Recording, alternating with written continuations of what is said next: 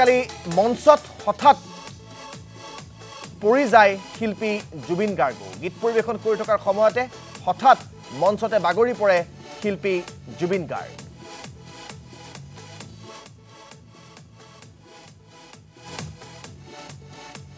আমি আপোনালোকক দেখুৱাইছোঁ ইমানেই উদ্ভণ্ডালিৰ সীমা চেৰাইছিল যে শিল্পীগৰাকীকো কালি মঞ্চত ঠেলি দিয়া দেখিবলৈ পোৱা গ'ল একাংশ উদ্ভণ্ডালিৰ সীমা চেৰাই যোৱা দৰ্শকক আৰু হঠাৎ সেই ৰাইজৰ